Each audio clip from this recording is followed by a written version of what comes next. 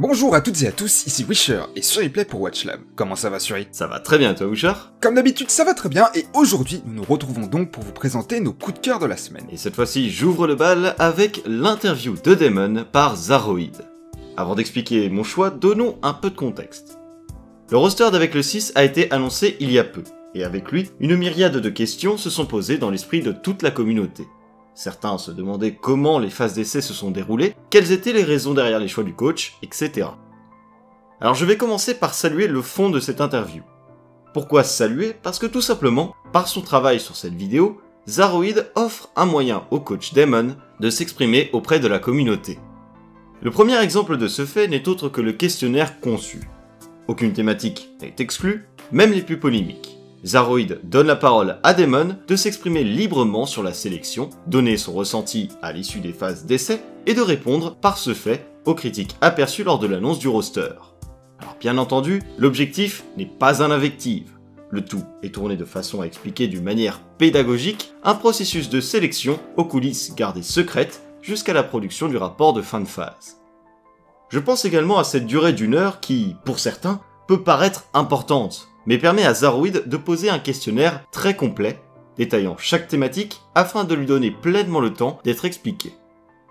Nous partons de l'euphorie générale provoquée par l'annonce du roster jusqu'à des éléments plus spécifiques, tels l'absence de super plouk dans la sélection ou encore la richesse du hero pool des 7 joueurs choisis. Je passe ensuite à la forme. Nous découvrons ici une tribune donnée à Damon dans un format très apprécié, qu'est la vidéo. À défaut d'un tweet longueur ou d'un article au format écrit, les audiences sont souvent plus importantes sur un format vidéo malgré la richesse de la plume. Cela ne veut bien entendu pas dire que la vidéo est moins riche, bien au contraire. Le plus est qu'avec Zaroid, une des figures de proue des créateurs de contenu autour de l'Overwatch compétitif, l'ensemble est un véritable tremplin pour s'adresser à une partie colossale de la communauté Overwatch française. On notera également cette qualité générale des overlays ainsi que cette décision de ne pas afficher de gameplay durant l'interview. Un moyen de concentrer l'attention des spectateurs sur ce que dit Damon et, par ce procédé, de rendre son message encore plus impactant ainsi que mémorable. Car oui, c'est là aussi l'une de mes motivations à montrer du contenu de Zaroid ou même d'Avec le 6 en coup de cœur. Aucun des acteurs ne fait tout ce travail pour son profit, mais bien pour l'ensemble des passionnés qui les suivent. Cette interview en est un exemple dans le sens où, par toutes ses décisions artistiques, voire sur le fond, on comprend que Zaroid veut permettre à Damon de s'adresser à toute la communauté, et pas uniquement à la sienne, ses abonnés.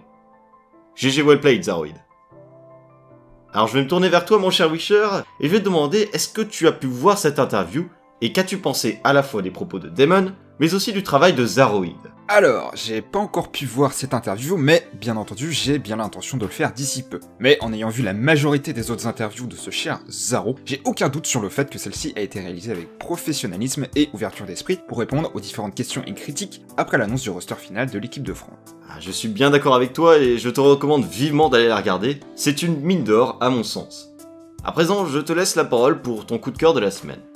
Alors, de mon côté, je vais vous parler un peu de l'Overwatch League. Comme vous le savez, les playoffs ont commencé et les quarts de finale viennent tout juste de s'achever. Mais là, je vais vous parler d'un move en particulier. Sur Kings Row, lors du premier BO5 entre Los Angeles Gladiators et London Spitfire. Londres est en défense sur le premier point et Gladiators aux portes de la victoire. L'ensemble des Gladiators, à l'exception de Surfour, feront le grand tour en passant sous le nez des Londoniens. Tout ceci pour se retrouver sur les hauteurs derrière le point de contrôle. Les 5 Gladiators vont donc repousser presque l'ensemble des Spitfire aux alentours de la statue. Et c'est là que Surfour entre en scène.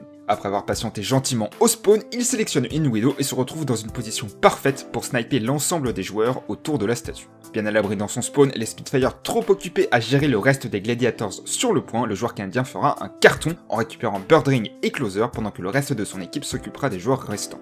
Un cheese impeccable, intelligent et mené avec brio. Cette map se conclura d'ailleurs sur la victoire des Gladiators qui remporteront ainsi ce premier BO par 3 à 0. Mais les Spitfire ne sont pas à enterrer pour autant. Après cette défaite désastreuse, l'équipe coréenne a su se ressaisir pour la suite de ce quart de finale. Deux jours plus tard, les Coréens se sont réveillés et ont montré au monde leur step-up monstrueux. 2 BO5 gagnés par 3-0 d'affilée contre les premiers de l'étape 4 alors que les Spitfire étaient donnés perdants par quasiment l'intégralité de la scène.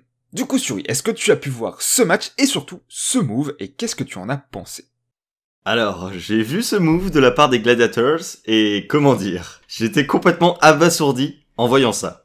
Pour moi, de la même manière que l'on récompense le plus beau but lors de la cérémonie du Ballon d'Or au football, nous devrions saluer le move collectif le plus impressionnant de l'année sur Overwatch. Et bien sûr, je te le donne en mille, c'est cette action qui trônerait à la première place selon moi.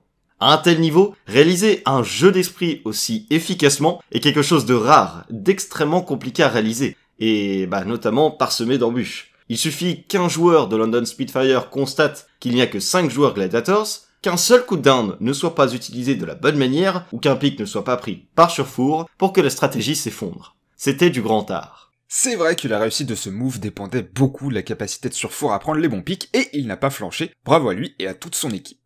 C'en est donc fini pour nos coups de cœur de cette semaine. Comme d'habitude, n'hésitez pas à réagir sur ceci dans les commentaires. Si vous ne souhaitez louper aucune de nos émissions, n'oubliez pas de vous abonner à la chaîne, voire même activer la petite cloche et nous suivre sur Twitter pour être prévenu de chaque nouvelle vidéo. Et si cette émission vous a plu, n'hésitez pas à la partager autour de vous. Sur ce, on se dit à la semaine prochaine. Salut tout le monde. Salut tout le monde.